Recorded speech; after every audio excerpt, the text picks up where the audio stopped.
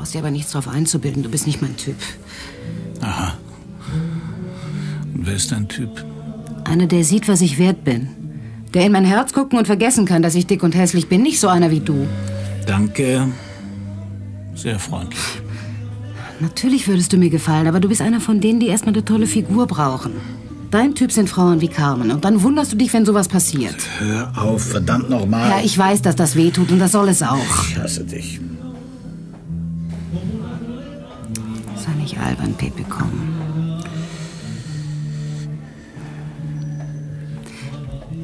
Ich habe dir eine Waffe besorgt. Nichts Besonderes, aber zur Verteidigung reicht's.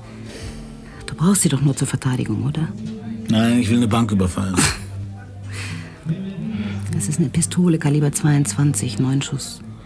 Ihre Hand glitt unter den Tisch. Die Waffe berührte mein Bein und ich steckte sie in die Jackentasche. Sie war erstaunlich leicht. Ich habe mich auch nach Gorolla erkundigt. Hast du gehört, warum man als Anwalt nicht mehr praktizieren darf?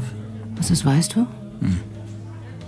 Vor rund zehn Jahren hat er mal ein paar Jungs verteidigt, die auf einer Party unter Drogeneinfluss ein Mädchen vergewaltigt haben. Und daraufhin hat sich sein Partner von ihm getrennt. Und die Anwaltskammer hat ihn rausgeschmissen. Wovon lebt er? Immobilien.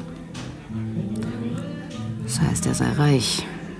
Und man munkelt, dass dieser Reichtum nicht nur aus Immobiliengeschäften stammt. Munkelt man auch woher? Mhm. Drogen. Ein Bekannter hält ihn für die rechte Hand von Liborio. Sonst noch was? So wie mir Gurolla beschrieben wurde, war er Carmens Liebhaber. Der mit dem Mustang. Ja, das denke ich auch. Wir verabschiedeten uns mit unserem ersten Kurs. Und ich verließ das Condessa, dieweil Ilda ihren vierten Bloody Mary in Auftrag gab. Einen Schlüssel bitte. Eine gute Nacht, Senior. Irgendeine Nachricht für mich? Nein, Senior. Keine. Es sah so aus, als wollte er noch etwas sagen. Aber da betraten zwei Pärchen das Hotel und er wandte sich ihnen zu. Ich ging zum Aufzug. Wenn er mir etwas zu sagen hatte, würde er mich auf meinem Zimmer anrufen. Ich knöpfte mir das Hemd auf, legte mich aufs Bett.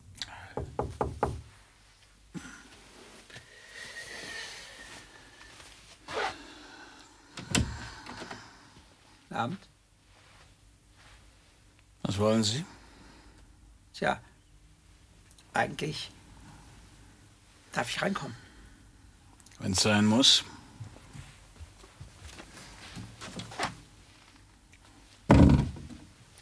Mir ist da noch was angefallen, was für Sie vielleicht von Wert sein könnte.